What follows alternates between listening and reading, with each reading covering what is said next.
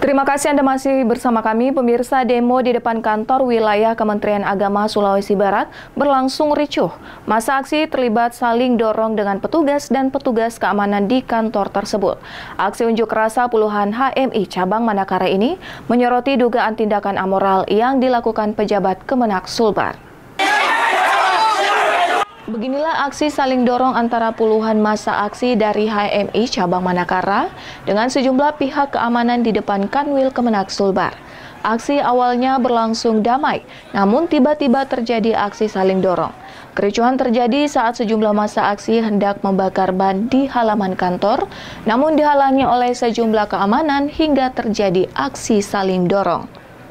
Beruntung aksi saling dorong tak berlangsung lama setelah kedua kubu bisa menenangkan diri dengan baik dan menyampaikan aspirasinya. Sementara aksi unjuk rasa yang dilakukan puluhan mahasiswa ini digelar lantaran adanya dugaan pelecehan atau tindakan amoral yang diduga dilakukan salah satu oknum pejabat di kantor Kanwil Kemenak Sulbar.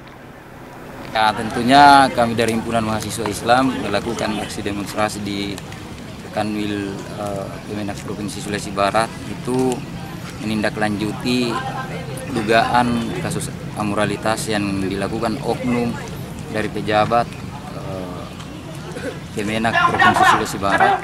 Menanggapi tuntutan mahasiswa, pelaksana harian Kepala Kantor Kemenak Sulbar, Inyoman Aryadi, menyampaikan saat ini kasus dugaan tindakan amoral tersebut ditangani oleh Kementerian Agama untuk memastikan apakah dugaan benar atau tidak. Kami sampaikan tadi bahwa ini kan pemberitaan ada terkait dengan pemberitaan, ya. ada dugaan oknum, jadi oknum pejabat. Jadi terkait dengan ini pimpinan kami Bapak Kakanwil ini sementara masih mengklarifikasi di pusat. Jadi itu sementara mungkin masih ditangani oleh internal kami. Nah terkait nanti dengan apa pun hasil keputusan dari klarifikasi itu mungkin itu yang kita menjadi taati itu kita yang menjadi aturan yang akan kita patuhi yang akan kita Usai menyampaikan aspirasinya puluhan mahasiswa yang melakukan demo membubarkan diri. Meski demikian mereka mengancam akan melakukan aksi serupa jika tuntutan mereka tidak dipenuhi. Dari Mamuju, Freddy Christian iNews melaporkan.